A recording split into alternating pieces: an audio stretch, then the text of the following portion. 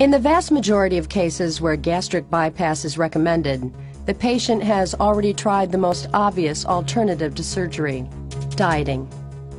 By recommending gastric bypass, your doctor is telling you that dieting is not a reasonable solution to your weight problem. More drastic measures are necessary.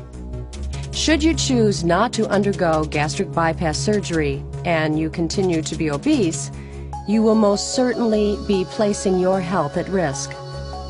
Complications associated with obesity include diabetes, high blood pressure, heart disease, and depression. Because of these risks, it's unlikely that your physician would recommend any treatment other than gastric bypass to treat your weight problem. But there are risks associated with surgery as well. Surgical procedures performed by making an incision large enough to expose the entire operative area are called open procedures. Your doctor believes that your medical condition and overall state of health make you a good candidate for a less intrusive laparoscopic surgery.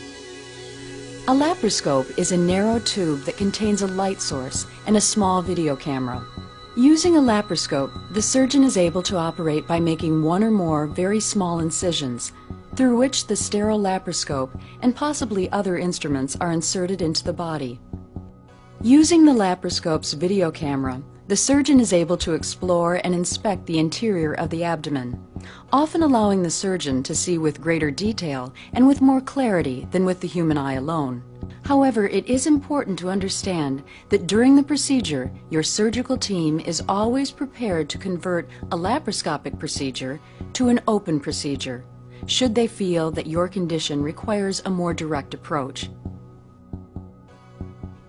If the surgical team makes this decision, you will find upon waking up that your doctor has made a larger incision and that healing may proceed more slowly. Converting to an open procedure will affect the length of your recovery and will probably require hospitalization. Of course, no surgery is completely risk-free, but your physician believes that if you decide not to undergo the recommended procedure, you may be putting your health at risk. So it is very important that you ask your doctor any questions that you have about this procedure.